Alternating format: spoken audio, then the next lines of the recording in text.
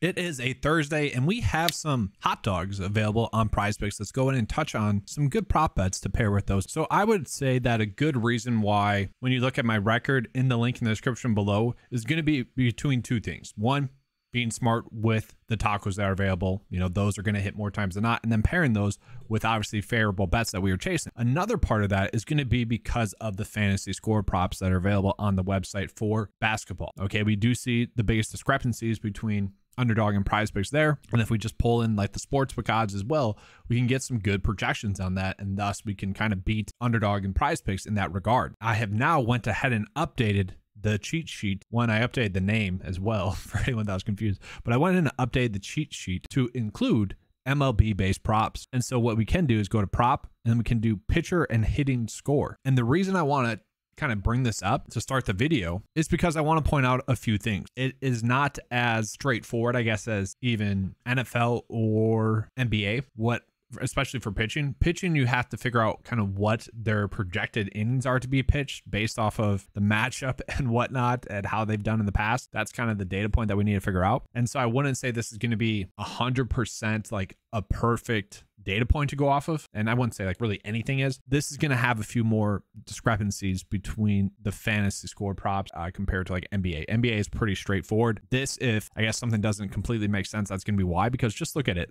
So we can see the over percent. That's going to be pretty good. The Vegas line is going to be what's interesting. And the biggest difference here it, that I'm noticing is that in some situations, prize picks is going to value a win or a quality start in their data a lot more than maybe the Vegas line is going to. So we are going to get some projected edges there. And I think a majority of the time, we're going to see that this number for the Vegas line is going to be lower than what prize picks has. And then with underdog, it's a completely different line. So I haven't figured out a good way to kind of measure the discrepancy between those two, except for, I guess, just pointing out which ones are the highest difference. But that's not great. But we do have the projections in there. I think that's going to be the number that we want to go in on. And just for, I mean, we can see it's going to be much more close to the prize picks. And so for what it's worth, I did use this yesterday um, while I was making the updates and had some success as well. It's just trying to make the best educated decisions we can possibly. And so now I do think kind of hitting fantasy score is going to be much more easy to kind of project and predict. And I would say the best way to go about doing this is look at the average sportsbook line and then also the projection. If they're both positive over prize picks, then, then we're feeling pretty comfortable about that. And then same thing kind of the opposite way. If they're both negative, then obviously we can bet the under there. But yeah, I'm excited to get that out. I think that's going to create some big edges for us uh, throughout this MLB season. So let's go ahead and get into some props that I do like. So first and foremost, we do have the hot dogs there. Okay. And I would say this one, we have a, I feel like this is the best one that we're getting. It's only one strikeout less, but you know, just looking at it, given the matchup with Pittsburgh, it's going to be a good matchup. He should be able to get over pitcher strikeouts there. And then these two, I do think, are going to be a little bit tighter uh, for both of them. Okay. Uh, a little bit more difficult matchups, especially if you look at their last three games, the opponent's last three games. So it could be a little bit tighter. Now, I'm still going to take the favorable odds that we are getting and just hoping that two out of the three hit. But I would say, I would say one of these two are going to be the ones that don't hit. And apparently, we're going to get, I think we're going to get more hot dogs throughout the day. I, I could be wrong. So let's go ahead and find out which ones we can pair with this hot dog. So obviously, we only have one NBA game going on tonight. And I'll touch on one of the props I like with that. So with that, I've been trying to find some MLB props that we can go with. So one of the ones that I don't mind is actually going to be George Kirby. And I kind of like the over fantasy score here. And so some of you guys might be wondering why that is when the Vegas line says it's going to be 24.6 and then the projections are slightly higher. Okay, we are seeing a discrepancy there. The thing with the Vegas line is it's very rarely going to pull in a win or a quality start. And so let's go ahead and Oh, that's Kyle. Sorry. Sorry. That was Kyle Gibson. Uh, George Kirby here. Yeah. His uh, projection is slightly lower, and so is his Vegas line. Uh, but once again, the thing with it is, is that yeah, it's very rarely going to pull in a quality start or a win. When we're looking at it, the only pitcher that's projected to get a win is actually Ohtani, where he has a 57% chance to get a win, and then the next best is Kyle Gibson at 46% chance to win. It does seem like Prize Picks is valuing a lot of their props based off of a pitcher getting a win or a quality start. So now, if we look at it, I, I, like this prop for two reasons. One, I think he's going to get a high strikeout amount. And you might be wondering, okay, well, why not just do strikeout? To me, 5.5 is a lot. Do I see him getting six? Yes. Do I want to bet on that? No. I'd rather do the full sample of him as a pitcher. And so we can see he has gone the over thus far in three out of his four games. And if we look at his game log, we can see he has been pitching deep into those games, six innings in his last three games. And so that's going to give, if that happens again, that's going to give us a good chance at a quality start and then also a win as well. Now, part of this is also going to be the fact that he's going against Philly. At home, Philly is one of the worst in terms of strikeouts per nine innings in the league. Then if you just look at their last three games, they have struck out the most in the league. And so once again, yes, I think he does have a good chance to get six strikeouts, but I also think he has a good chance to get a quality start and a win and then also, if he does get five and a half strikeouts with all those outs, you know, six innings times three, that's 18 points just by pitching six full innings. He gets three points for each strikeout. It's about 15 points there, maybe 18 points there. So we're already there. And then if he gets a quality start and a win, we're sitting pretty. Obviously, earn runs could hurt a little bit there as well. And then now getting into Kyle Gibson as well. I don't mind him for over fantasy score. I did mention he has the second highest likelihood to get a win out of any pitcher today at 46% likelihood. So obviously not favored to do that, but he was projected to get over that. Okay. So slightly projected over that, but we do like that. A matchup with Detroit is not going to be one that I'm too worried about right now.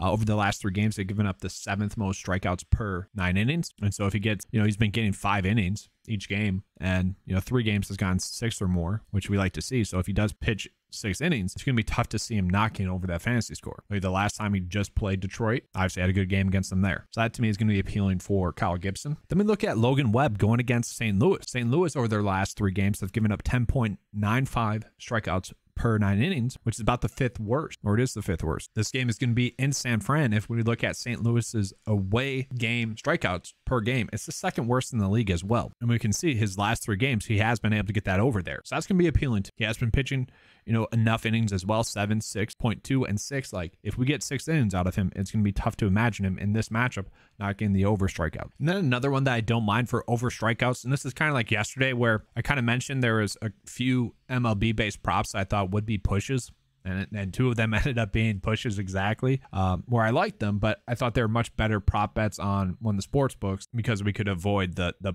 push based number that's out there on DraftKings or that's out there on Prize Picks. Sorry, so I could see that happening again with Joey here, but I do like the over strikeouts. Washington over their last three games has given up a ton of strikeouts, about 12.1, which is going to be the second worst over their last three games. And if you look at his first start, pitched seven innings, and so once again, if you're going to get a pitcher maybe pitching that much, that's going to be appealing. To. All right, so now switching up again to NBA, as you guys have probably figured out NBA is kind of my soft spot. It's you follow it for long enough, you kind of know what to expect. Like yesterday with the free throw thing with Jimmy Butler and Giannis, where you know Jimmy Butler had more free throws than Giannis in the previous game. I was like, all right, that's going to get corrected. That ended up working out. It's just like a comfortability feel there. Um, but today, I, I don't really like that many. They all kind of feel like we'd be forcing them a little bit. The only one that I kind of like is going to be Dejounte Murray over fantasy score. Now, every game thus far this series, he's has been over that. That's one of the reasons why I like it.